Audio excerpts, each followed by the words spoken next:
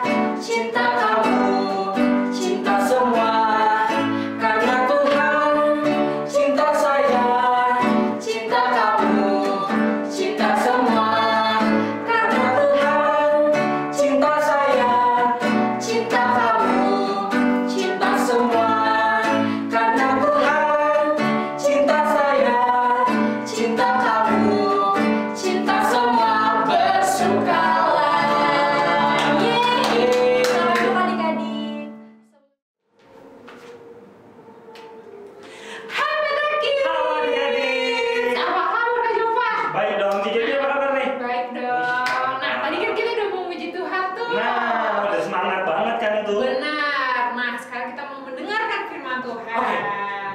Coba Kak, minggu lalu eh, Bunda Ria sama Kak Yulia Iya, cerita tentang apa? cerita tentang eh, Tuhan Yesus yang dilulukan gak sih kak? Benar. Ah, itu dia. Adik pasti ingat kan? Pasti harus ingat dong, Iya aku aja ingat. Nah, kan Tuhan Yesus sudah dilulukan Iya. tuh di Yerusalem. Nah, kelanjutan ceritanya hari ini nih. Wih. Adik-adik mau dengar kan? Sih mau, Iya. saya juga mau dengar ya. Iya, aku ceritain ya kayak. Iya, boleh. Jadi Tuhan Yesus abis kemarin dilulukan sebagai raja. Nah, Tuhan Yesus tuh mau datang ke bait Allah. Oh, bait Allah. Iya, kakak tahu nggak bait Allah tuh apa?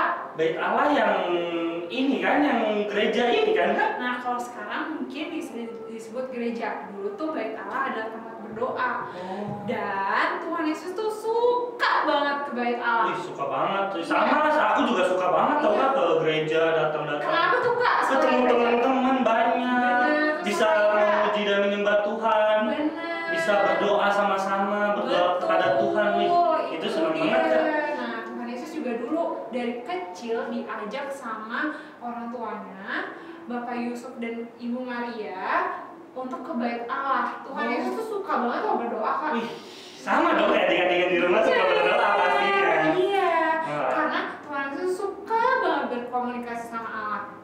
Nah, adik-adik juga suka kan? Nah, pasti iya. harus suka dong biar komunikasi, biar Betul. ngobrol gitu sama Allah.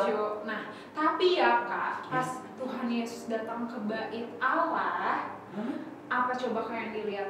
Oh ini kayak ada pasar gitu kan kak, bukan bait Allah lagi. Iya, adik-adik, Tuhan Yesus melihat di bait Allah banyak yang jualan. Uh, tadinya fungsinya bait Allah kan untuk berdoa kan, rumah doa. Iya. Ini malah, Malah jadi, jadi tempat jualan jualan. jadi kayak pasar gitu ya kayak jual Coba beli. adik-adik bayangin kalau lagi gereja, lagi sekolah minggu, Hmm. terus ada yang gangguin. Ih itu itu bikin gak fokus banget tau tuh. Iya kan?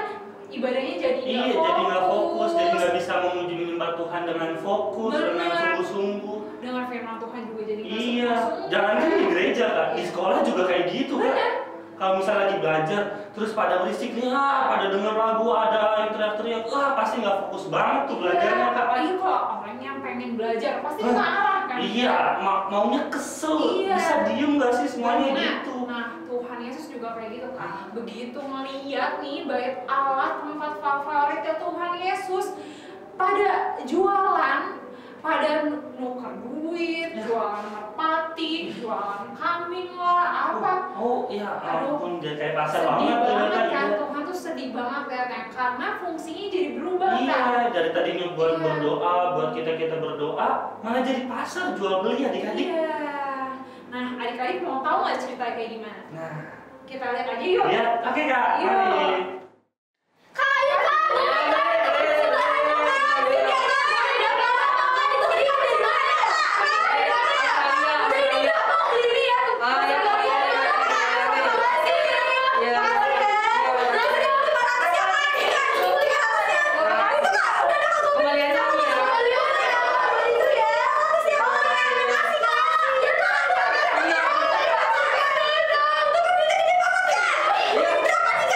Ini masih segar.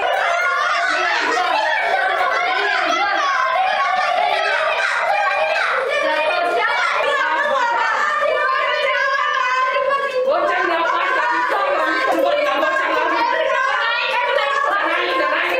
Nah, udah ya.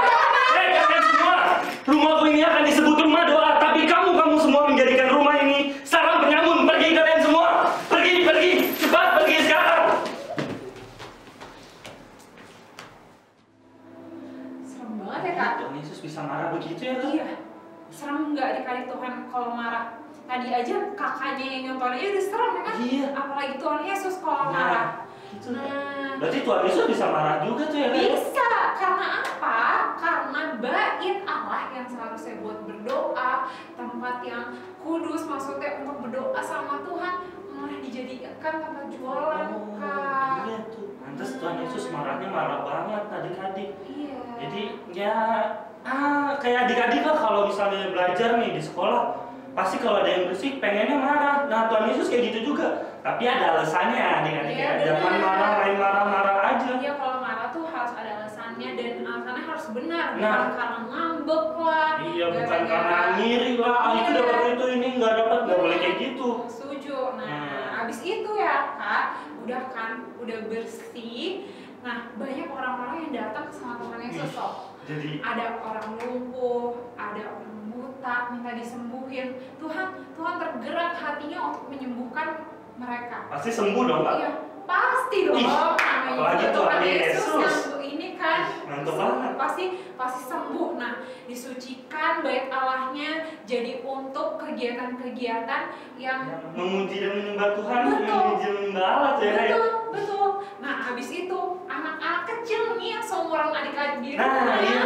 juga datang ke Tuhan Yesus memuji nama Tuhan, Nah. nyanyi-nyanyi. Nah, tapi ya kak ada yang ngiri. Siapa tuh? Siapa tuh? Nah, imam-imam besarnya nih pada ngiri. Ini anak-anak ngapain nih nyanyi-nyanyi? Oh, jadi imam-imam besar menganggap tadi yang jualan berisik dimarahin, masa anak-anak berisik nggak dimarahin Iya. sih? Terus ya kak, tapi karena nyanyi-nyanyian itu menyenangkan hati Tuhan, Tuhan ngebela loh adik-adiknya. Ih, asik banget. Seneng ya kak, Seneng banget dong. Adik-adik tuh dengerin ya. Iya, makanya kalau kita memuji Tuhan Nah, harus semangat, iya, harus benar. semangat. Iya. Tuhan pasti ngebela loh adik-adik. Iya, karena Tuhan tuh senang banget kalau disenangkan. Nah, Iya. soalnya itu tujuan hidup kita Iya. kan, menyenangkan hati Tuhan. Tuhan. Nah, adik-adik semua mau menyenangkan hati Tuhan kan? Pasti mau dong. Nah, makanya kita harus sungguh-sungguh ngapain aja sungguh-sungguh Iya. memuji Tuhan, sungguh-sungguh belajar, sungguh-sungguh. Pokoknya semuanya harus melakukannya dengan sungguh-sungguh. Dengan sungguh-sungguh. Iya. Apalagi bantuin mama juga dengan Iya. sungguh-sungguh tuh ya. Pokoknya kan apa pun yang Apa pun yang menyenangkan hati Tuhan. Iya, itu betul. itu luar biasa loh adik-adik. Nah, udah nih kita mau eh, baca ayat hafalan aja kali Ayat ya kan? ya? Iya. Oke, langsung Oke. ayat hafalannya. Ayat hafalannya dari mana? Kak? Dari Yesaya 56 ayat Ayat 7C. 7C. Kita sama-sama ya, pakai gerakan ya adik-adik ya dari dari ayatnya dulu. Oke, Iya. satu, dua, Kita tiga. berdiri dulu aja. iya, Iya, udah adik-adik berdiri, berdiri yuk, berdiri, geraknya berdiri. bisa lebih. Oh. Oke. Oke. Satu, dua, tiga. Yesaya Yesaya 56 ayat 7C. Rumahku akan disebut rumah doa bagi segala bangsa.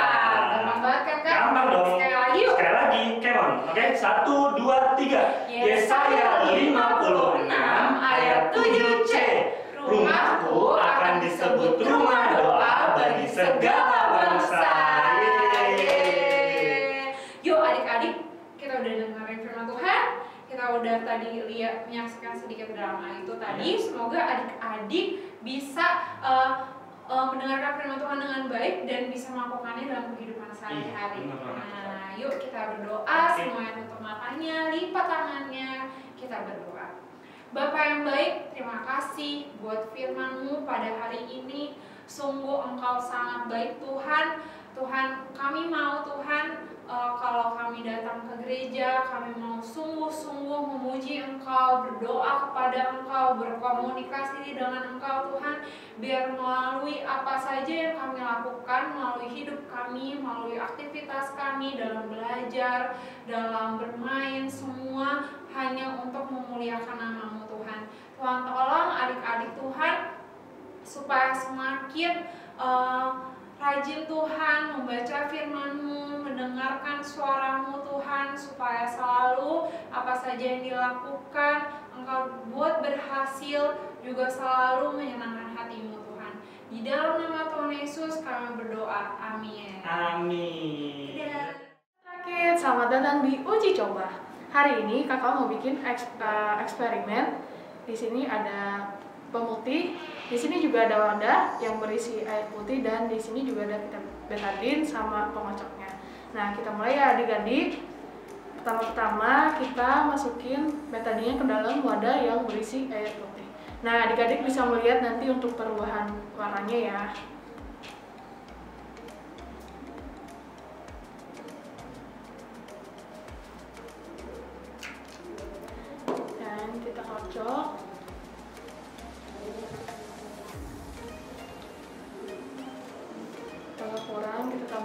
Lagi ya adik-adik nah ini sama dengan gelas ini dia berubah warnanya dari yang putih menjadi uh, agak merah gitu dan itu sama kayak dosa kita adik-adik kita berbuat salah seperti kita saat beribadah kita nggak serius kita main-main. Nah sekarang kita ambil pemutihnya dan adik-adik nanti bisa menyaksikan perubahan warna yang ada di wadah ini ya.